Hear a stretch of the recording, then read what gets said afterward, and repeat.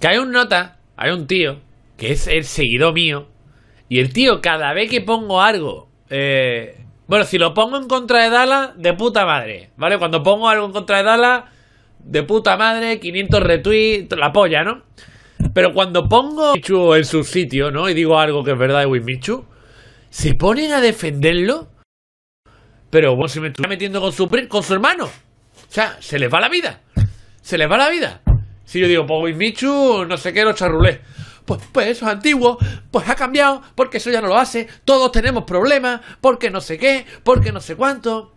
Vamos a ver, que me estoy metiendo con un tío de internet que le suda la polla de ustedes. Y yo, pues son como los pambisitos, pero en Wismichu.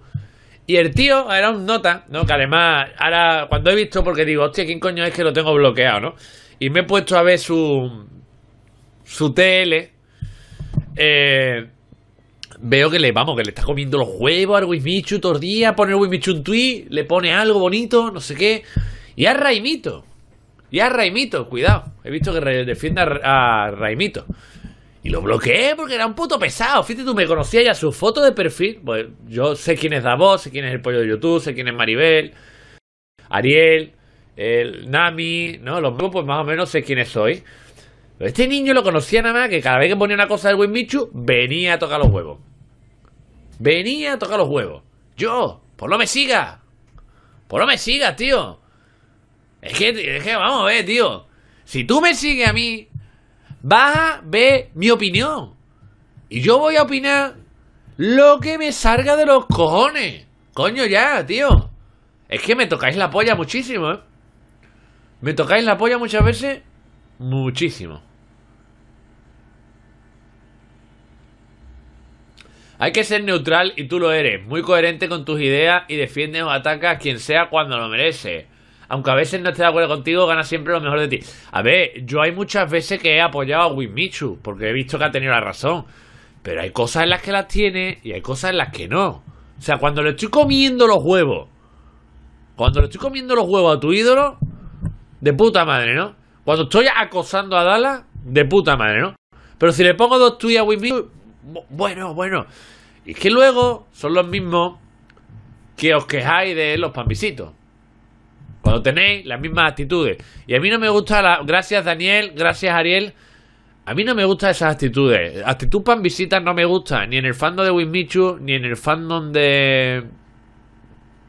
De Dala, ni en el fandom de ningún youtuber, ni conmigo siquiera, ¿sabes?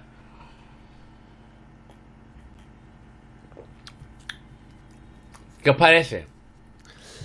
¿Qué opináis? ¿Qué opináis de que empecé en YouTube tomando latas de cerveza de Cruz Campo y ahora me estoy bebiendo un batidito, un yogur líquido en un vasito de la abeja maya? ¿Qué opináis?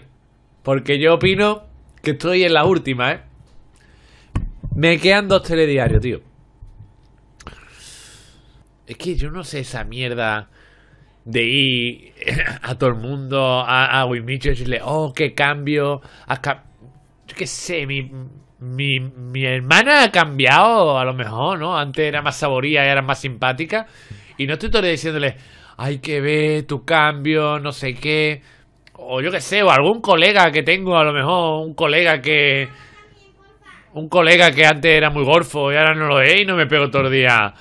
O tu cambio, que todos días se nota tu cambio. E, eso es como lo que él quiere.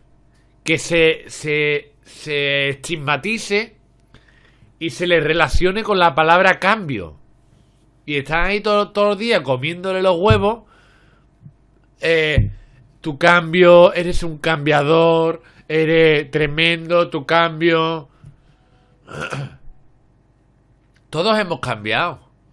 Pero no estamos todos los días diciéndonos entre nosotros. Lo que pasa es que a él se lo dicen porque es lo que a él le gusta. Que no le, que mira, que ya no eres un gilipollas. Que eres muy cambiador. La palabra cambio va relacionada contigo. Y a mí es que eso me parece ser un come polla. Todo el mundo que hace eso con él. Tremendo, ¿no? Y cuidado, ¿eh? Porque yo creía que estaba cambiando, pero... después vemos lo del botellazo. Vemos lo de lo de lo que le hizo a José Micón, ¿no? Hace poco, ¿no? Eh, En el torneo del Rubio, vamos, sin ir más lejos, que eso hace un mes o dos, ¿no? De lo del torneo del Rubio, ¿no? de lo- reírse de, de la depresión que tuvo, ¿no? Gilipollas, ¿no? Al menos, al menos Wismichu después se disculpó, pero Josemi le mandó al carajo. Hombre, por supuesto, Georgia. Lo mismo que me hizo él, ¿no? Porque yo, según tenía entendido, él la tenía toma conmigo. Porque yo un día le hice una crítica o dos o tres videocríticas. Le pedí perdón, quité los vídeos y me mandó al carajo. Ahora, ¿qué pasa? ¿Que si se lo hace José Micó a él está mal? ¿O cómo? Explicarme eso. Que sí, que te doy la razón en eso, por eso lo he comentado. Ah, vale. Normal que lo mandara al carajo. Demasiado poco le dijo. Exactamente, que si te estás riendo. Es que es un payaso, no hay más historia. Mira, Ariel, muy bien lo que ha puesto. Si te estás riendo de un tío que ha tenido una depresión. ¿Eh? Te estás riendo de un tío que ha tenido una depresión. Y que su canal eh, murió. Cuando tú, en su día, cuando tenías menos suscriptores que él, andabas comiéndole los huevos a más no poder. A más no poder. Y ahora, como ha tenido una depresión y tuvo que dejar el canal abandonado, te ríes de él, ¿no? De que su canal está muerto, ¿no? Pero luego, eh, que su novia tiene traumas. Por favor, paralicen el mundo. Paralicen el mundo. Es el peor caso de traumas que he visto en la vida. Hombre, no me toquéis los cojones, ¿eh? Muy bien el pollo de youtuber. Muy bien. Winmichu ha cambiado de cara a la galería. Exactamente. De cara comercial. Se llama eso. De cara comercial. ¿Por qué? Porque Risto Mejide lo puso entre la espada y la pared y le dio hasta en el cielo de la boca. ¿Y cómo salió él? Cuando Risto Mejide le hizo ahí en la entrevista el bucaque, ¿no? Se puso en la entrevista a decirle a Risto Mejide en un programa en Antena 3 Televisión que lo estaba viendo todo el mundo. Se puso a contar que Rubio le ponía los cuernos a su novia en la discoteca. Eso os voy a decir una cosa ya para que os quede claro de las pollas que se comen aquí en, YouTube, ¿vale? De los comepollas que hay, ¿eh? De los comepollas que tiene alrededor. Eh,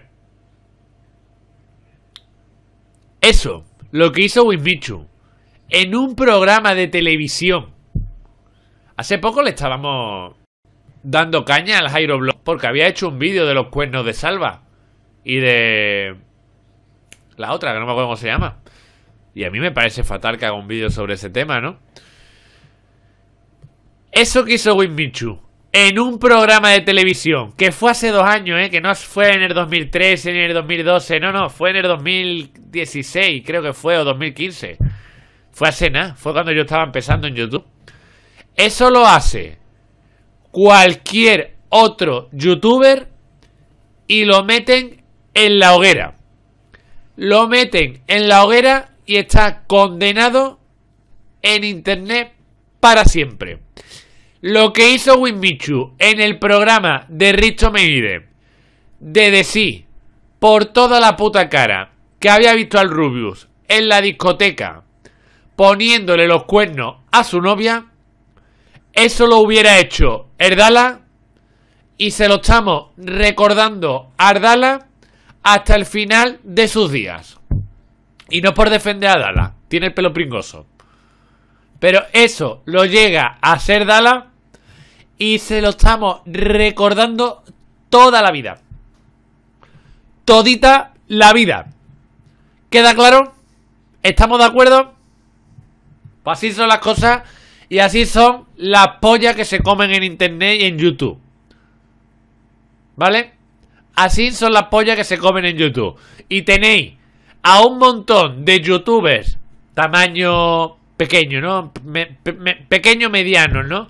De un millón, de medio millón de suscriptores comiéndole los huevos todos los días, diciéndole eres el, eres el que más cambia de la vida, eres el que has cambiado, eres, eres la polla, Wismichu, tu cambio se refleja, le das un mensaje a la comunidad muy bueno.